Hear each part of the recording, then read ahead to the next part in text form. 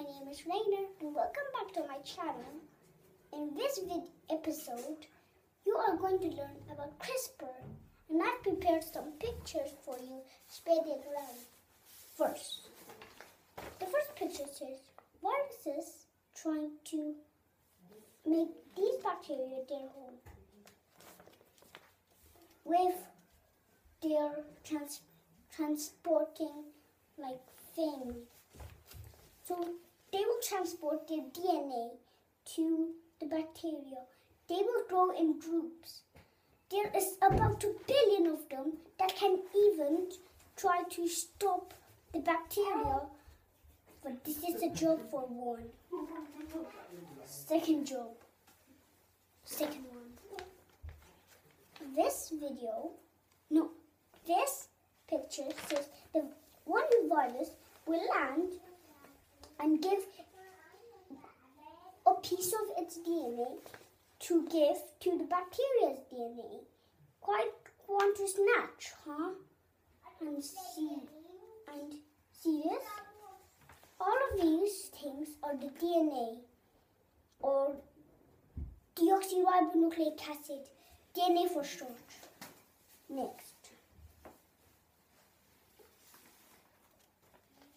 When the, the bacteria got got the virus's DNA, then will feel really, really bad.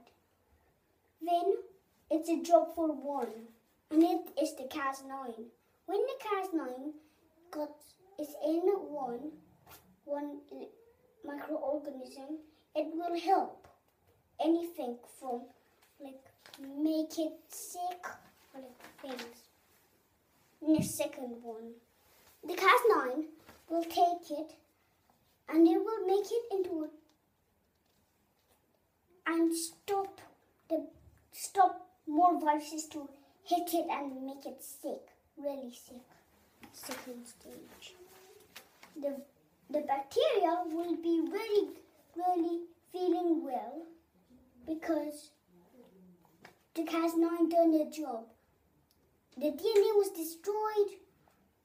The virus DNA was destroyed, really closely destroyed, but it was really destroyed.